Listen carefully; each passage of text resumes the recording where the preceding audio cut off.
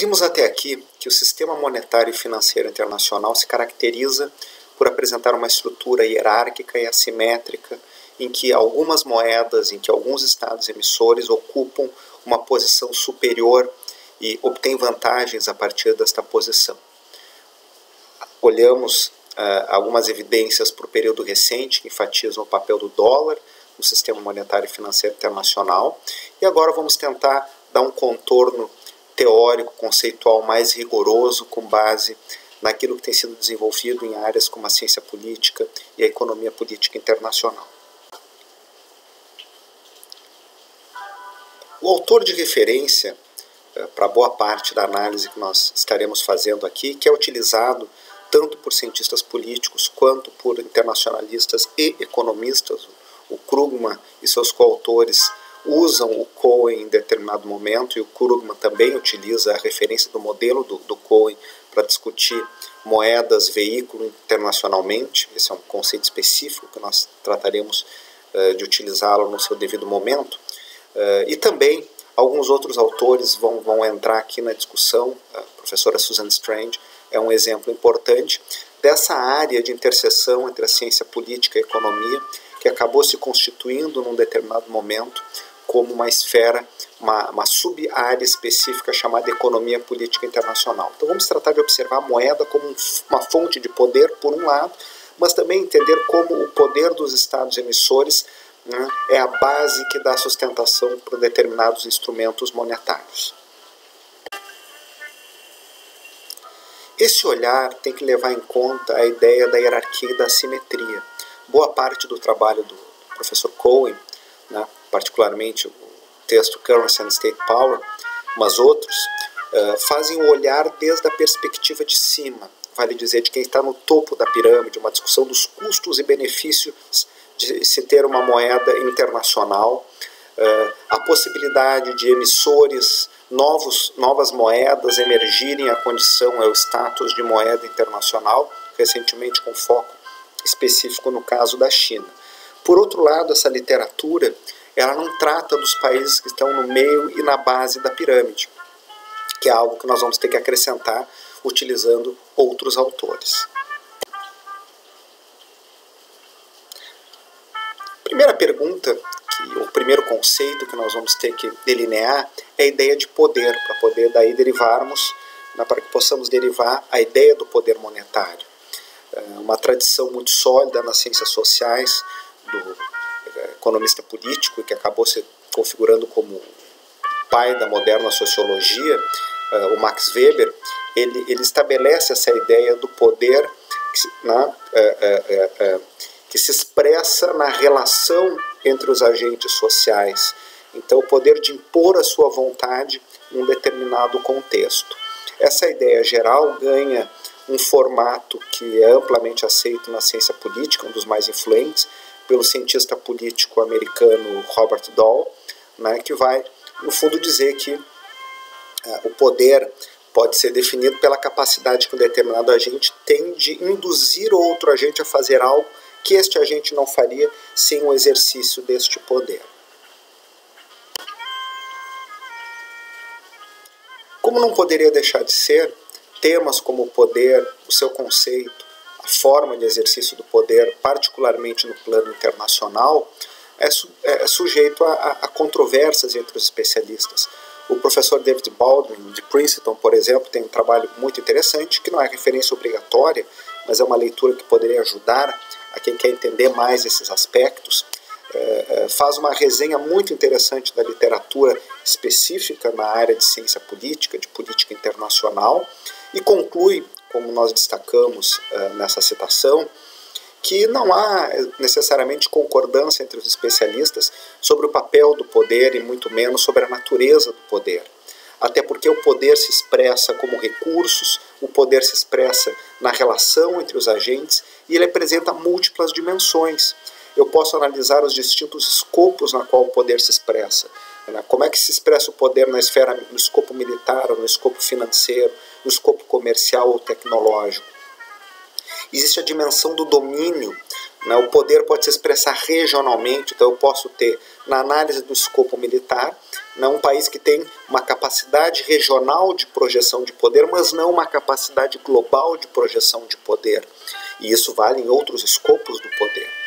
Existem pesos relativos e custos no exercício do poder, assim como existem os meios através dos quais o poder se expressa.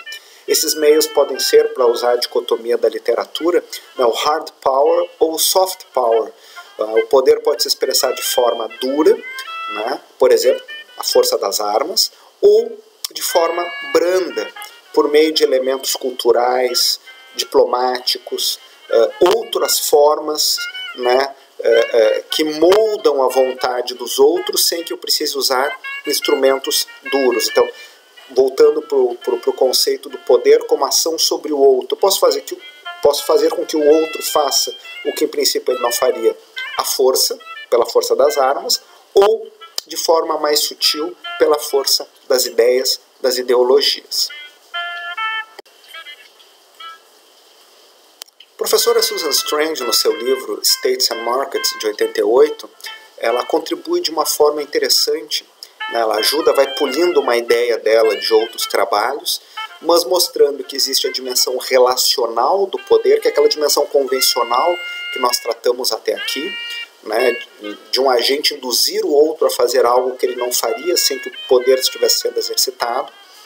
É, mas há uma dimensão mais profunda, que, que, que é a que ela chama de poder estrutural, que é o poder de determinar, de moldar as estruturas na da economia política internacional.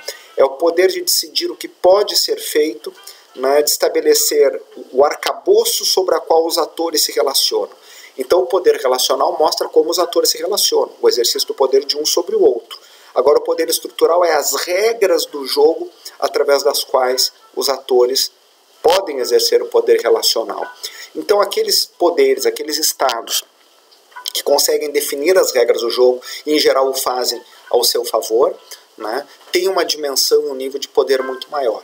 Se nós uh, trouxermos isso para o plano monetário financeiro, poderíamos exemplificar né, com toda a, a, a, reorganização do mundo financeiro, comercial, né, que se estabelece a partir da Segunda Guerra Mundial. São criadas novas instituições, FMI, Banco Mundial, né, a partir do Acordo de Bretton Woods, é reorganizado o sistema de comércio sob bases multilaterais, através do sistema GATT-OMC, no plano securitário, Conselho de Segurança da ONU. Então, em múltiplas dimensões vão sendo criadas instituições multilaterais e essa criação se dá a partir de um exercício do poder estrutural dos Estados Unidos.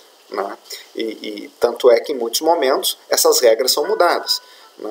O acordo original de Bretton Woods estabeleceu um regime de câmbio fixo em que as moedas estavam fixas ao dólar e o dólar fixo ao ouro. No começo dos anos 70, os Estados Unidos mudam né, e deixam a sua moeda flutuar frente às demais e abandonam o lastro em ouro do dólar. São exemplos de como o exercício do poder estrutural pode se dar.